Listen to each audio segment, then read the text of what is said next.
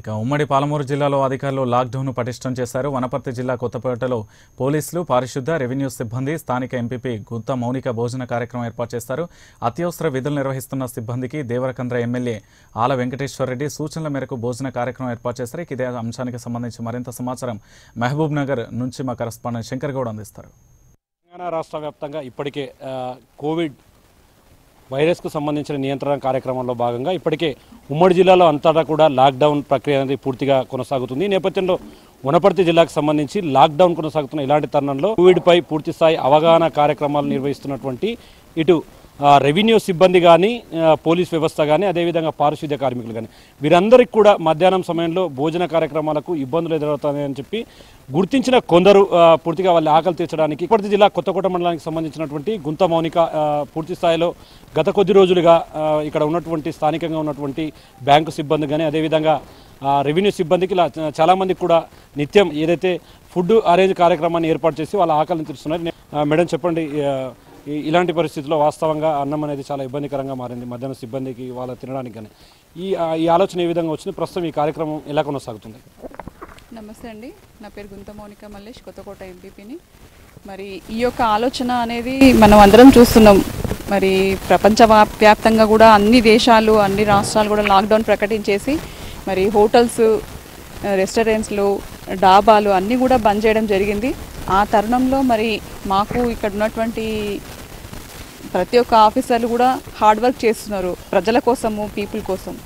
మనము మనతో వచ్చిన సాయం చేయాలనే ఉద్దేశంతో స్టార్ట్ చేయాలనుకున్నాము. మరి స్టార్ట్ చేయాలనుకున్నాం మొదటగా మా గౌరవ ఎమ్మెల్యే గారికి మా నియోజకవర్గం దేవరకత్ర నియోజకవర్గం మా ఎమ్మెల్యే గారు ఆలా వెంకటేశ్వర రెడ్డి అన్నగారు మరి అన్నగారికి తెలియజేయడం జరిగింది. అన్న ఈ విధంగా చేయాలి అనుకుంటున్నాము అంటే చాలా మంచి ఆలోచన అమ్మ తప్పకుండా చేయండి అని అన్నారు. మరి వారి యొక్క ఆదేశాల ప్రకారము సూచన మేరకే ఈ యొక్క కార్యక్రమం నడిపిస్తున్నాం ఇక్కడ. మరి ముఖ్యంగా వారికి చాలా చాలా ధన్యవాదాలు. మేజర్గా ఇక ఇక ఈ కార్యక్రమంలో ఎవరెవరు ఇక్కడ ఉన్న సిబ్బంది ఎవరెవరు వస్తున్నారు? అంటే దేనికి సంబంధించిన సిబ్బంది పాల్గొంటున్నారు? ముఖ్యంగా కొత్తకోట మున్సిపల్ అయిందండి. ఇక్కడ మున్సిపల్ సిబ్బంది ప్లస్ రెవెన్యూ డిపార్ట్మెంట్ వాళ్ళు మండల్ డిపార్ట్మెంట్ వాళ్ళు పోలీస్ సిబ్బంది అదేవిధంగా ఆశాలు హెల్త్ డిపార్ట్మెంటు అదేవిధంగా పోలీస్ డిపార్ట్మెంట్ వాళ్ళు ప్రతి ఒక్క డిపార్ట్మెంట్ కూడా వీళ్ళు వాళ్ళు అనకుండా బ్యాంకర్స్ ఆంధ్ర బ్యాంకు ఎస్బీఐ అందరు కూడా వాళ్ళందరూ కూడా ఇన్ఫామ్ చేసినాం ఇక్కడ డైలీ ఉంటారు సార్ అని. మరి ఈ యొక్క ఆలోచన రావంగానే ఎమ్మెల్యే గారికి చెప్పి ముందుగా మా ఫ్యామిలీ మెంబర్స్ని అందరినీ కూడా కూర్చోబెట్టి వాళ్ళందరి దగ్గర మాట్లాడడం జరిగింది. వాళ్ళందరూ కూడా దీనికి తప్పకుండా చేద్దామని అన్నారు. వారందరి సహాయ సహకారాలతోనూ కూడా ఈ కార్యక్రమం ముందుకెళ్తుంది. అదేవిధంగా మరి మేము ఈ కరోనా వైరస్ ఎప్పుడైతే ప్రబలడం జరిగిందో అప్పుడు కూడా మేము మాస్కులు కూడా తయారు చేసి పం పంపిణీ చేయాలనుకున్నాం. మరి మాస్కులు కూడా ఒక దాదాపు మూడు వేల మాస్కులు మా మండలి మొత్తంలో పంపిణీ చేయడం జరిగింది. మరి ఈ యొక్క భోజన కార్యక్రమానికి వస్తే ఫస్ట్ ఆలోచన వచ్చిన బడే ఎమ్మెల్యే గారికి అదేవిధంగా ఇక్కడ ఉన్నటువంటి స్థానిక సిఐ గారికి ఎస్ఐ గారికి ఇన్ఫామ్ చేస్తే వాళ్ళు ఉండి ఫస్ట్ ప్లేస్ చూస్తామన్నారు. ఎస్ఐ గారిని తీసుకొచ్చి సిఐ గారిని తీసుకొచ్చి ఇక్కడ ప్లేస్ చూపించాము. చూపిస్తే బాగుంది. మీరు పెట్టండి. మేము కూడా మీకు ఎక్కడున్న ఏ ఇబ్బంది లేకుండా మేము కూడా చూసుకుంటాము అన్నారు. వాళ్ళు అదేవిధంగా సహకరిస్తున్నారు. అదేవిధంగా ఎస్పీ గారు డిఎస్పీ గారు అందరూ కూడా వచ్చి చూసి చాలా బాగా మెయింటైన్ చేస్తున్నారు.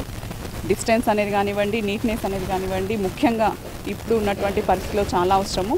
అవన్నీ కూడా మెయింటైన్ చేస్తూ ప్రజల యొక్క అధికారుల యొక్క ఆకలిని తీరుస్తున్నందుకు చాలా చాలా థ్యాంక్ థ్యాంక్స్ అని వాళ్ళందరూ కూడా చెప్పడం జరిగింది. ఇంకా అదేవిధంగా మరి మినరల్ వాటర్ కూడా మేము చెప్పిన వెంబడే సిఐ గారు మూమెంట్ అయ్యి మరి మినరల్ వాటర్ కూడా మొత్తం మండల్ టౌన్ ఒక బిందెకు బబుల్కి రేటు కూడా తగ్గించి టూ రూపీస్ తగ్గించి అందరికీ కూడా మంచినీళ్ళు కూడా అందిస్తున్నాము. ఇంకా ఏదున్నా సరే సహాయ సహకారాలు తప్పకుండా ఉంటాయి. అదేవిధంగా మొన్న మా ఎమ్మెల్యే గారు వచ్చేసి ఎవరికైతే రేషన్ కార్డులు లేవో గ్రామాలలో వాళ్ళందరికీ కూడా మరి బియ్యం కూడా ఇవ్వండి దాతలుగా మీరే అంటే మండల నాయకులందరూ ఎవరైనా సరే మంచిగా ఉన్న ఆర్థికంగా ఉన్నటువంటి వాళ్ళు ముందుకొచ్చి అలాంటి కార్యక్రమాలు సేవా కార్యక్రమాలు చేయండి. ఎందుకంటే చాలామంది గ్రామాలలో రేషన్ కార్డ్స్ లేక ఇబ్బంది పడుతున్న తరుణం ఇది. అని చెప్పడం జరిగింది. దానికి కూడా మేము మూమెంట్ అవుతున్నాము. మరి అదేవిధంగా పబ్లిక్ కూడా సహకరించాలని పోలీసులకు కానివ్వండి ప్రతి ఒక్క ఆఫీసర్స్ మన కోసం వాళ్ళు ఇరవై నాలుగు గంటలు పనిచేస్తున్నారు. అది దృష్టిలో ఉంచుకొని వాళ్ళు కూడా పెద్ద ఎత్తున సహకరించాలని వాళ్ళందరినీ కోరుకుంటున్నాం. మరి ప్రధానంగా అంటే ఈ ఈ కార్యక్రమం ఈ ఏదైతే మీరు భోజనాలు ఏర్పాటు చేస్తున్నారో ఎన్ని రోజుల వరకు ఉంది? ఒకవేళ లాక్డౌన్ ఇట్లా ఇంకా పెంచితే ఇది ఇది ఈ విధంగానే కొనసాగిస్తారా? మేమైతే ఇప్పుడు ఫిఫ్టీన్త్ వరకు లాక్డౌన్ చెప్పడం జరిగింది గౌరవ ముఖ్యమంత్రి గారు కానీ ప్రధానమంత్రి గారు కానివ్వండి. అక్కడ వరకు అయితే కంటిన్యూ చేయాలనుకున్నాం.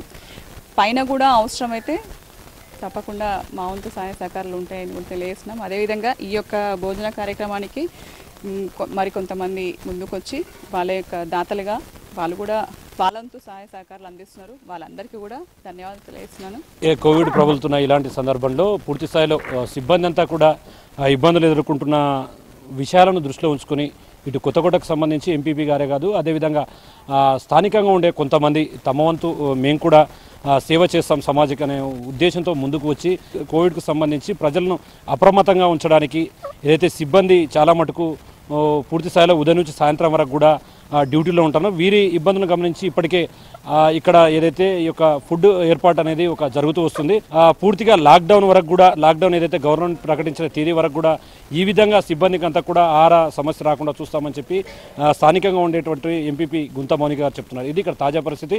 కెమెరా పర్సన్ అశ్వకాలితో శంకర్ గౌడ్ ప్రైమ్ న్యూస్ మహబూబ్ నగర్.